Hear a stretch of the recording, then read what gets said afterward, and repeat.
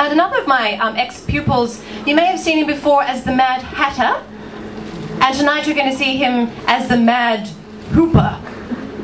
Take it away.